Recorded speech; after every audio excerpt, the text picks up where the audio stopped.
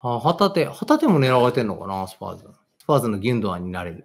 そうですね、旗手に関しては、もう本当に森保さんが無視できないぐらい活躍してほしいですよね。そうプレス耐性めちゃくちゃ高いからね、レアル・マドリーがしっかり強度高くプレスいってる試合でも失ってなかったからね。なんかギリギリ失ってないというより普通に、うん、当たり前みたいにかわしてて、俺めっちゃできんじゃんっていうか、あの試合で自信つけた可能性ありますよね。マドリー相手にここまでできる選手なんだみたいな。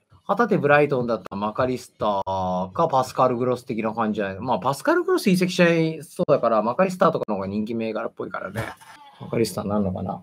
旗手の話は、あ、でもちょっと下ね、さっきね。カイセドのところか、マカリスターのところかだから、どっちが出てってもあれだし、移籍金だって絶対安いでしょ行って20億でしょでも多分そんないかないじゃん。別にプレミアで実績とか残したいし、まあ、スコットランドリーグだしね。だけど、そのリーグの中でボールを持てる側のチームだし、ブライトンだとより一層そこボール持てるから、で、あとは、プレミア行ってサイドバックとかできるのかなでもまあ、デゼルビが残るんだったら旗手いいですよね。で、トニー・ブルーム、ブライトンのオーナーの場合は、ポッター読んでデゼルビ読んできてる監督だから、もしデゼルビが本当ユベントス行っちゃったりとか、なんかそういう噂があるような、そういう遺跡というか、なんかこう転職をしちゃっても、転職って言わないか。うん。クラブを変えちゃっても、次の監督も楽しみだしね。あ、いいの連れてきたみたいなね。だから、マカリスターがね、ギュンドアンがいなくなった後のシティっていう説があるし、カイセドなんかアーセナルになってて、まあ、それもカイセドもシティかもしれないしね。ってなると、旗手もね、そこで活躍したら、もうもう一個ステップアップあるかもしれないし、あと何よりさ、もう、まあ、めっちゃベタなこと言っちゃうけど、もう三笘が残った場合だよね。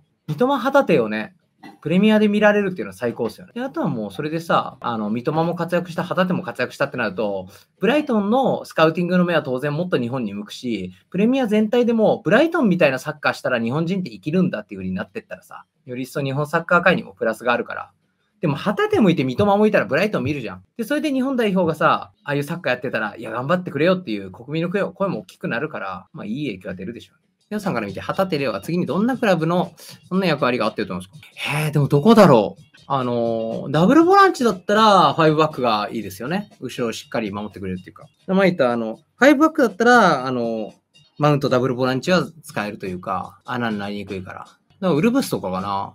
次行くとしたらね、日本人の噂よく上がるし。なんだっけ、日本のラムジー。最近髪伸びた、もともとサンフレッチェの。カーベだ、カーベ。あの役割じゃないですか？みたいのは。旗って移籍金40億まで上がる可能性。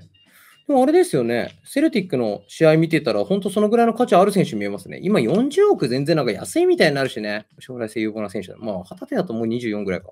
ね、旗手サイドバックも見たいけどね、旗手サイドバックに使って、攻撃、ボールの動かし方とか、こう、旗手が生きる形、なおかつ守備でも、旗手下手ではないんですけど、そこが攻められるようになっちゃうじゃないですか、なっちゃうじゃないですか、どうしても守備うまくいかなかったら。そういうのをちゃんと、あの原則とか教えたりとか決めたりとか立ち位置とかそういうのを修正したりとかできる感じじゃないから、普通に中盤で争わせるでしょうね。旗手は日本のラームになってほしいっていうかね、それこそ、あの、まあ、IA タイプって本人中盤希望だったりとか、前希望のパターンありますけど、あれだけサッカーは分かってて、ボール持てて、内にも外にもサポートできてみたいな。で、どんどん個人のスキルの凄みも上がってきてるじゃないですか。ああいう選手サイドバックいると、本当チームの質めちゃくちゃ上がるんですよ。だから、富安サイドバック、え、センターバックで見たいけどって思うけど、でも、富安がアーセナルでサイドバックやってる時のアーセナルのクオリティって、他の選手がやる時と2段階、3段階違うじゃん。やっぱマドリーがカルバルいる時いない時とか、まあ、調子がいい状態のね、フェランメンディいる時いない時で全然違うでしょ。アラバをそっち持ってこれなかったら。っていう風になると、やっぱ、それこそバイエルンがラームいない時に、ラフィーニャ、いぶし銀みたいな言うたけど、ラフィーニャ全然わけ分かってないみたいな時もあったんで、本当ね、長友ほどの、なんていうのかな、こう、まだ守備のところで相手に嫌なプレーするみたいなのはまだないかもしれないけど、全然育つし、僕は本当ね、旗手のサイドバックは、なんか日本が他の国に対して優位に立つために、なんかこう、すごい重要な要素だと思いますね。中盤がいるっていうのもあるしね。だから僕はもうやっぱり川崎のユニットがそれぞれ世界に羽ばたいて輝いてるじゃないですか。戦ってるじゃないですか。田中だったり、三笘だったり、旗手とか。あのユニットそのまんま左サイドで使って、三角形の可変ずっと。だからあれですよね、あの、旗手に関しては、頭いいカンセロになれると思うんですよ。あ、そうだ、こっちの方が分かりやすいね、今。旗手は頭いいカンセロになれるし、そう、三笘が誰だろうね、海外のプレイヤーで言ったら。ら田中はフレンキー・デヨング。三笘あんだけ生態、だ真面目なネイマールですか、うん。っていう風になれるから、ってなるとね、まあ、あの、誇張しっていうと、ネイマール、デヨング、カンセロの左の三角形って話になるから、めちゃくちゃワクワクしない？その3人がさ、全員わけ分かってて、ポジションの可変ちゃんとやる。旗手すごいな。めっちゃいい選手だな。ショートパスのスピードがさ、蹴り方しっかりしてるから超速いんだよね、また。旗手めちゃくちゃいいね。ほんと置いて叩く技術も素晴らしいしね。パスのトラップとさ、蹴り方と。リーグ戦ではパフォーマンスいいです。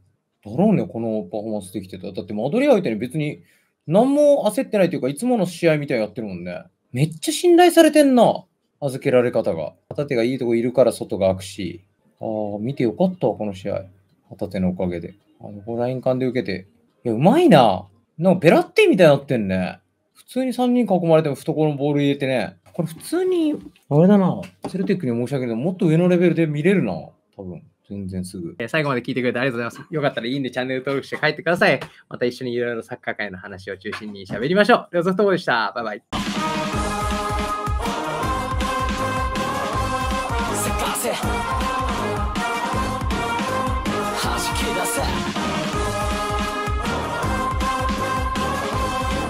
君の